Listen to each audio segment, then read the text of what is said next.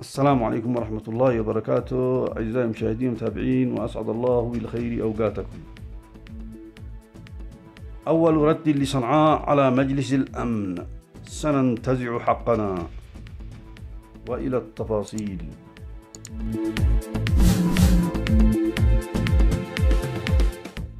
رد قيادي في سلطة صنعاء على مندوب أمريكا في جلسة لمجلس الأمن الدولي بشأن اليمن.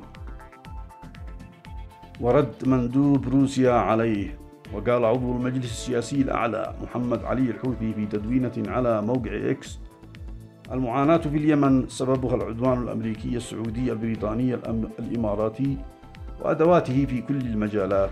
مضيفا ما قيل في مجلس الأمن دليل كاف على ذلك. مؤكدا أن الشعب سينتزع حقه بكل اقتدار.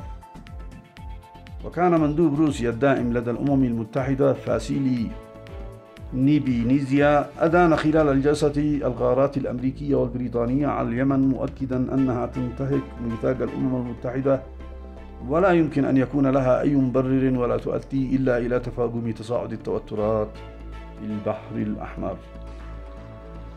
وسخر المندوب الروسي من الفشل الأمريكي في البحر الأحمر واعتبره دليلا على أن استخدام القوة ضد اليمن لن يضع الوضع في البحر الأحمر على المسار الصحيح.